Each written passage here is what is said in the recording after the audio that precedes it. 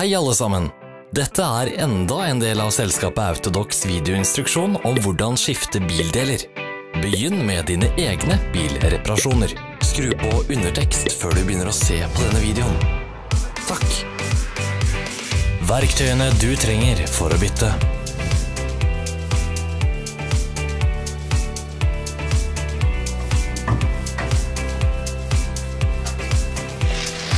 Ikke gå glipp av våre nye interessante videoer. Bare husk å klikke på abonner-knappen og bjelleikonet. Vi legger ut nye videoer hver uke.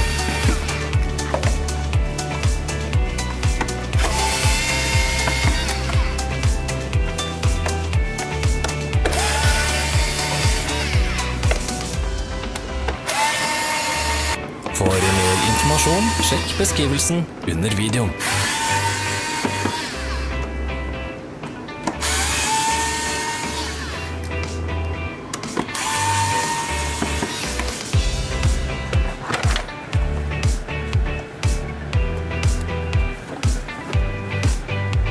Hjelp oss å bli bedre.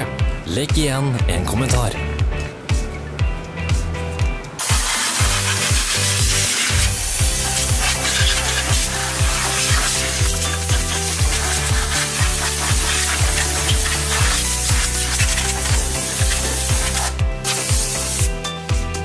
Se beskrivelsen nedenfor for lenker til nettbutikken vår, hvor du kan kjøpe reservedelene.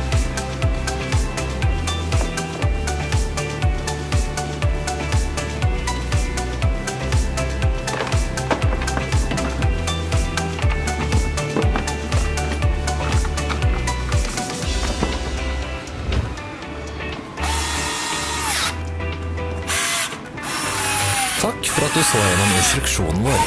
Hvis du likte denne, trykk på lik-knappen og del med vennene dine. Ha en fin dag!